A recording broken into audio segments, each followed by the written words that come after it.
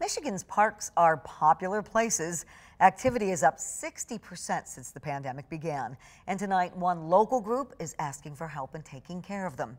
Friends of Grand Rapids Parks has organized a new two-day event called It's My Park.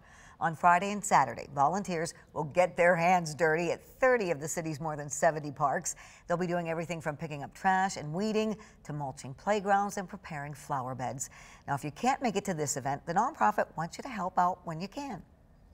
I'm hoping that this doesn't just become a two day event that when you're out in the parks and you see something, you know, if you can just, everyone just can help lend a hand, clean up the trash. But if you don't see your park on the list, we want you to go ahead and just kind of be a self starter. Go ahead and take it on and go out there and clean it up too.